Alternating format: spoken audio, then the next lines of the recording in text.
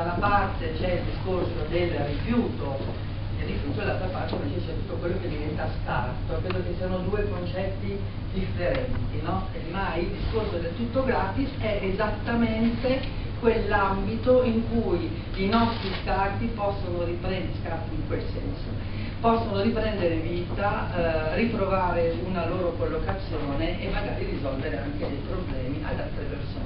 Guarda, io mi sono entusiasmata quando ho visto le prime esperienze nord europee, in Austria anche sono, sono partiti con grande successo, dopodiché è arrivata anche a Bolzano, a Bolzano si chiama Passamano. Mm. Eh, in cosa consiste un negozio tutto gratis? È un luogo, un luogo, non è un'impresa, non è business assolutamente, è un luogo fatto anche chiaramente in uh, partnership con le istituzioni perché ha bisogno di trovare un luogo gratuito che non abbia spese di affitto, magari solamente appunto di manutenzione più che altro che di utenze, dove le persone portano tutto quello che viene considerato scarto.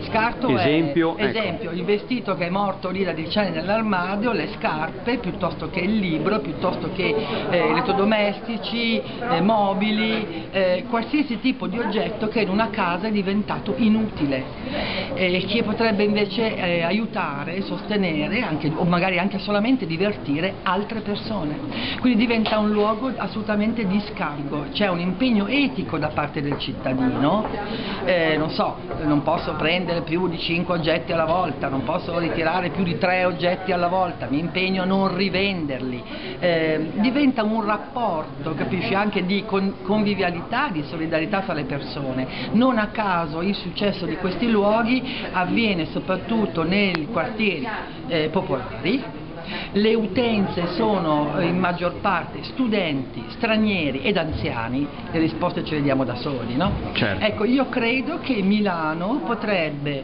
assolutamente scatenarsi in un'impresa del genere che sta in piedi perché ai cittadini che lo frequentano magari viene chiesto un contributo ogni tanto per sostenere le spese di, delle utenze, I, i lavoratori che prestano le loro, che regalano le loro ore di impegno per tenere l'apertura sono volontari, non c'è bisogno di così tante persone o di così tante eh, energie. Eh, se ci sono un gruppo di 5-6 persone, anzi forse è meglio che non sia così allargato, si possono mettere d'accordo per tenere l'apertura. L'importante è, è, trovare un luogo e secondo me il Comune di Milano è un comune ideale per lavorare insieme ad un gruppo del genere, identificare un luogo e dar vita ad una situazione del genere. Grazie mille. Prego. Sì, sì,